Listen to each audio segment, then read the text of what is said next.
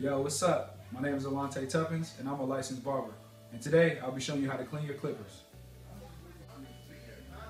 As a barber, I know how important it is to keep all of my equipment clean. It not only allows me to maintain my client's hairstyle, but also to ensure their safety as well. Now let's take a look at a couple things that it takes to keep your clippers in top condition. First, you will need your clipper disinfectant spray. Personally, I like the Andis brand. There's a 5-in-1. It is a coolant, disinfectant, lubricant, cleaner, and it prevents rust. Next, you will need your brush.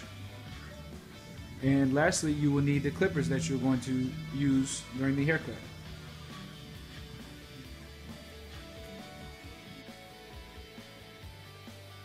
Before and after every haircut, it is important to make sure that the clippers are clean. Hair can build up on the inside blade and on the sides of the corner right here. So it's important to brush the hair off with the brush in a downward motion and make sure all the hair is off. It is also important to keep your liners clean.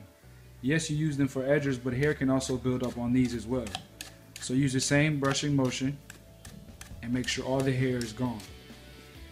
Next, you take your Cool Care disinfectant spray and you spray the back of the blade,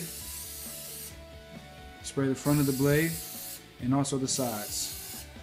You spray the sides to make sure that the blades become lubricated.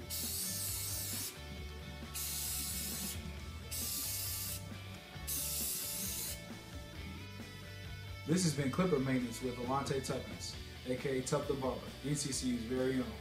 Thank you for your time.